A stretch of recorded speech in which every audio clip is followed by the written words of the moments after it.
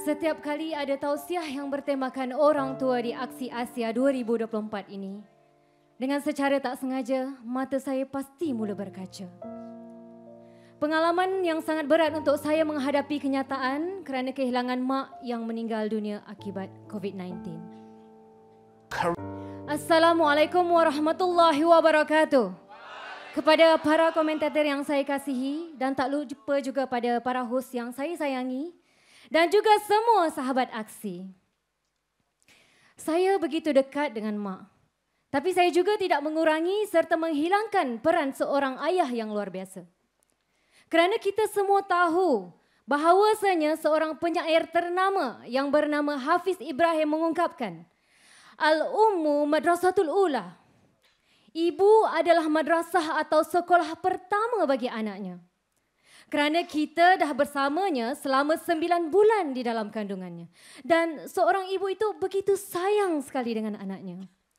Saat kita dalam kandungannya pun, seorang ibu itu tidak banyak mengeluh. Walaupun letih dan lelahnya, menggendong kita di rahimnya selama sembilan bulan. Dan di fasa ibu melahirkan kita, mereka berjuang mati-matian dengan keringat dan air mata serta darah yang menetes. Belum lagi dengan rasa sakit yang begitu dahsyat yang dirasakan oleh mereka untuk melahirkan kita. Dan pada saat kita sudah terlahir ke dunia, rasa sakit dan letih melahirkan itu berganti dengan tetes air mata bahagia saat mendengar tangis dan melihat wajah bayi yang sudah dilahirkan ke dunia. Lalu masuklah fasa di mana ibu menyusui, merawat serta mendidik dan membesarkan kita sampai ke saat ini. Jadi apa yang boleh kita lakukan untuk membalas jasa seorang ibu? Allah memerintahkan kepada setiap manusia. Setelah kita menyembah Allah, kita wajib berbuat baik kepada orang tua seperti yang dijelaskan melalui surah Al-Isra sebagian ayat 23. A'udzubillahi minasyaitonirrajim. Bismillahirrahmanirrahim.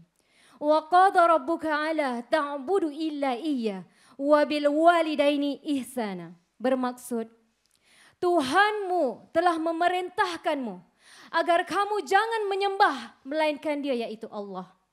Dan hendaklah berbuat baik kepada ibu bapa yaitu kedua orang tua. Sahabat aksi, di sini ingin saya menceritakan kisah saya. Kehilangan mak adalah pukulan yang berat dan menyedihkan buat saya. Kerana saya adalah satu-satunya anak yang begitu dekat dengan mak. Sampai ke saat ini, apabila saya teringat kembali semua kenangan tentang mak, pasti akan membuatkan saya meniteskan air mata. Lebih-lebih lagi jika saya teringat akan sesuatu hal yang tidak dapat saya tunaikan di sisa umur mak saya. Pada saat mak disahkan COVID, saya menjadi sangat takut. Saya takut akan kehilangan mak saya. Saya berusaha mencari pengobatan terbaik buat mak. Dan akhirnya saya membuat keputusan untuk menghantar mak saya ke rumah sakit. Namun mak menolak untuk dirawat di rumah sakit kerana mungkin dia takut sendirian di sana.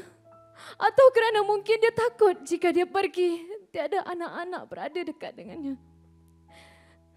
Tetapi saya seboleh-bolehnya memujuk mak untuk tetap dirawat di rumah sakit. Oleh kerana saya, oleh kerana mak tiada daya untuk menolak dan tiada pilihan lain selain pasrah akan keputusan saya. Dan setelah itu, mak dijemput dan dibawa ambulans menuju ke rumah sakit dengan membawa kesedihan dan amarahnya kepada saya.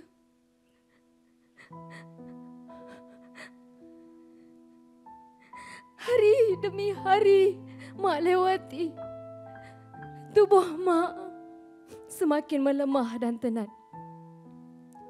Di saat itulah rasa kesal ini mula timbul. Saya mula marah kepada diri saya sendiri. Saya menyesal kerana tidak dapat mendampinginya, merawatnya, memegang dan memeluknya. Dan saya bercakap dengan dalam hati saya. Kenapa saya tidak menunaikan sahaja permintaan mak? Bahkan di saat terakhirnya di dalam keadaan sakaratul saya hanya dapat menemani serta membimbingnya halo hanya melalui panggilan video.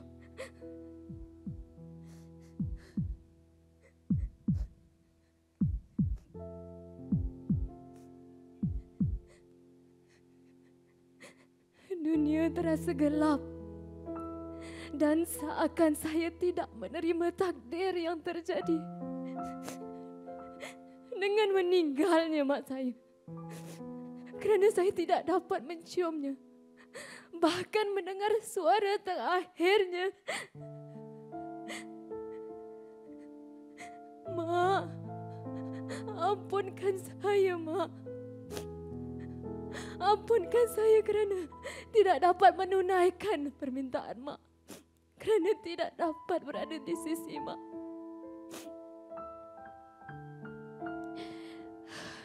Dan saat ini hanya doa yang boleh saya panjatkan buat mak.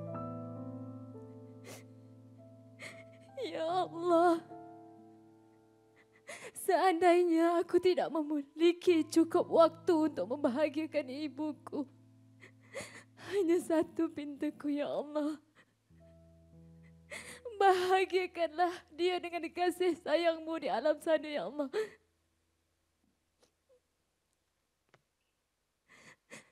Kepergian mak membuat saya sedar akan nasihat yang baik buat saya. Dan juga buat kita semua.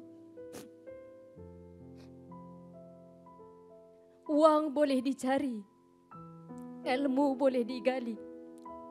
Tapi kesempatan untuk mengasihi orang tua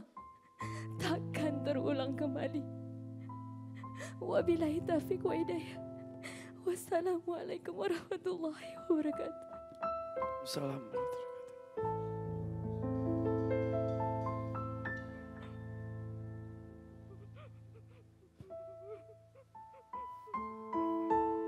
Yang kehilangan tidak hanya Miaheri. Ribuan, ratusan ribu, bahkan mungkin jutaan orang. Bahkan di sini pun ada Ustadz Soleh Mahmud. Tidak hanya emak, tapi bapak sekaligus. Dalam jarak berapa hari saja. Pasti Ustadz pun ikut merasakan apa yang dirasakan oleh Mihari dan juga yang dirasakan oleh banyak orang yang kehilangan di momen itu.